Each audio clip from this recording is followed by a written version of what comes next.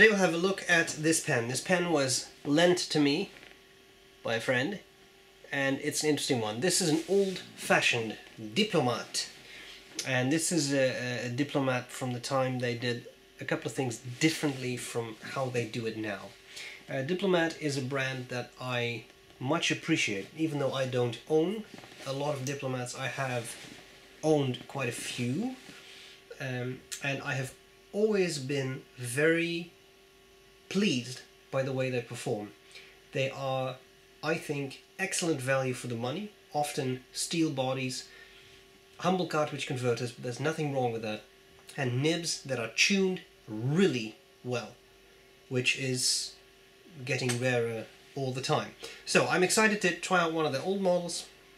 I've given it a test run and we're going to talk about it. I'm going to cover the parts of the pen, I'll tell you what I like about it, what I don't like about it, and then I'll do a writing sample. Let's start with the pen.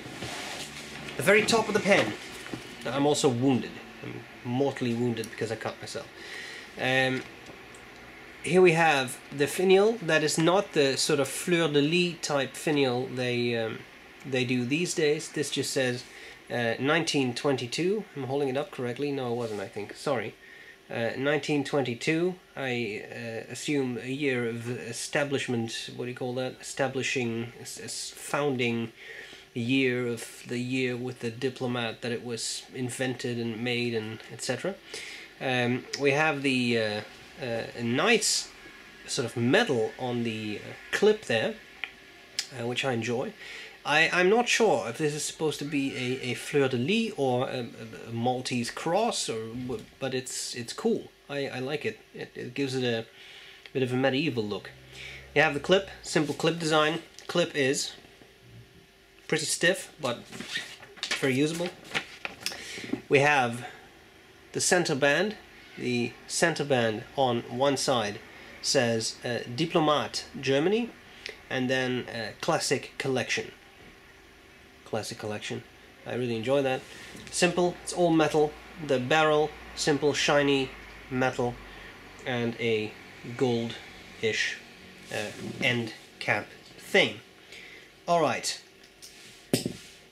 I uncap the pen, it's a slip cap. And this is a steel broad nib. Just having a look at it, yeah, it's that same cross, interesting.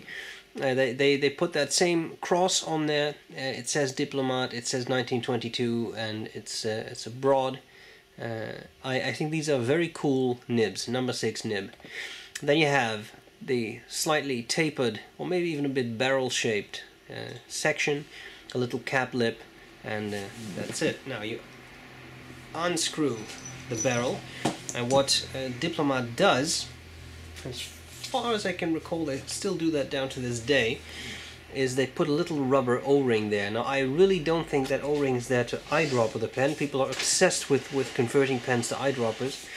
Uh, I, I don't think it's there for that reason. I, I think it's merely there uh, so that you can, uh, you don't accidentally unscrew the barrel. It is metal on metal, so that, that could happen. Uh, and of course, then you have the, uh, the converter. Very simple. Uh, converter works well. Alright, now, the downside to that rubber o-ring is that it's quite tough to put that back in place. What do I think about the pen? Well, it's a diplomat. A diplomat means, as far as I know, because pretty much all of them I have handled are roughly the shape, apart from the um, that, that Aero, I think it was called, the sort of zeppelin shape one. This is a rock solid shape, and I like that. It's simple, it adds a bit of weight because it's all metal, it feels sturdy. It's a well-made pen. It's simple. I like it when a pen brand comes up with something and sticks to it. It's all roughly the same shape and it works. It's comfortable. It's um, Because I'm gravely wounded on this finger, I'm going to use uh, my left hand today. It's a nice shape. It's big enough, it's heavy enough, if you want, you can post it, and it posts in a normal fashion so the cap doesn't stick out for half a meter. It just posts nicely. This is good. It's sturdy. You can hold by the cap, pen won't fall out. I think there's a lot going for this design. Now, of course, this is a discontinued model. As far as I know, you can't get this anymore. You can get other ones, the, the Excellence models, which are very, very similar. They don't have the, the, the metal on the clip, but in shape they're very similar. Section is very similar. Nib performance is very similar. They're cool. I like Diplomat. Simple brand, also decently priced. So I like that. Things I don't like about it so much. Well, there isn't that much. These are decently made pens. Are they groundbreaking designs? Not really. Do they have uh, exotic filling systems? Not really. It's cartridge converter pens. But hey, it works. And if you put it up like this, I really like this. The, the shape, slightly bulbous here, then it goes down, gold ring, bulbous, goes down, gold pot. It works. It works. It's fine. There's nothing wrong with that. So, I like it. It performed well, it writes well, nice broad, that's an actual broad, it flows well, what more could you wish for?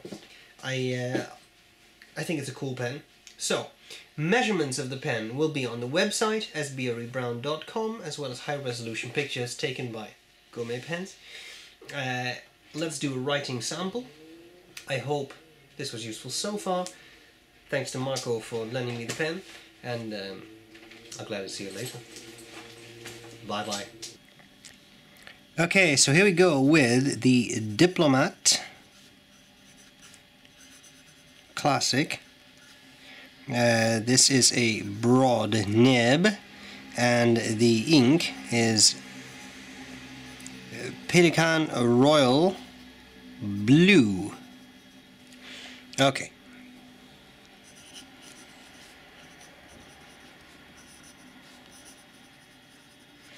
The nib is smooth. I don't find it the smoothest nib I have ever used. Uh, there is definitely a touch of feedback, but it's not at all scratchy. It's a pleasant sensation writing with this pen. Let's do some fast writing.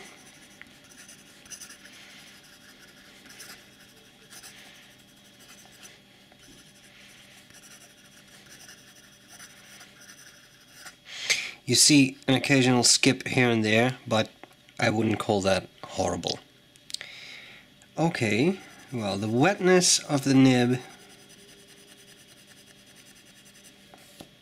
it's definitely on the wetter side but it is a broad it's not a gusher but it is not dry. Line variation it is a steel nib. You can squeeze out some line variation uh, if you really want to though then for those of you who enjoy reverse writing, here we have the normal line width, and then that is what you get with reverse writing. Definitely a scratchier experience, and as you can see, the nib runs dry. So I don't think this is a nib you can really use for reverse writing for extended periods. Okay, there we go. Of course, I thank my dear friend who has lent me this pen for the review. Hope this was useful, and um, I'll gladly see you later. Bye bye.